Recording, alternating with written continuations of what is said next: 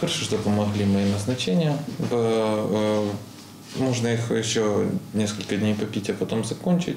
Федір Клерфон працює сімейним лікарем п'ятий рік. Каже, за цей час у вітчизняній медицині багато що змінилося на краще. Але багатьох проблем реформа медицини майже не торкнулася. В лучшую сторону изменилась реформа для первичного звена, э, но э, реформа немного застопорилась э, В 2019 и 2020 годах. Э, Для, э, вторич- для узких специалистов э, на данный момент реформа еще нормально не, даже не началась. Нет четкого руководства самого верха, которое бы э, объясняло механизм реформы. Из-за этого возникает очень много трудностей. Узкие специалисты, поэтому многие уходят э, из-за того, что э, э, они не понимают, как дальше работать.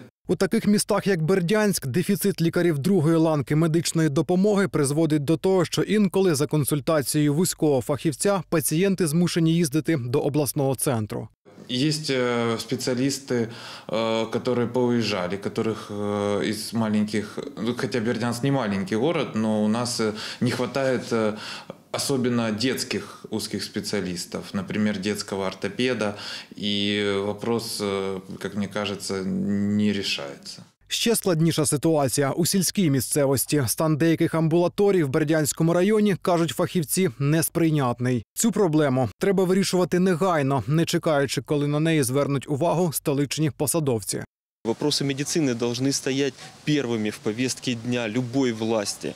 Потому что если в селе нет медицины, это окончательный упадок. Все закрывается, все сокращается. Все считают, все, все пеняют куда-то на э, бывшего министра здравоохранения Супрун, на Министерство здравоохранения, еще на что-то. Но местная власть до сих пор или не понимает, или просто не хочет понимать, что рычаги управления, рычаги влияния, финансирования, все передано уже давным-давно на места. И именно здесь они должны этим заниматься.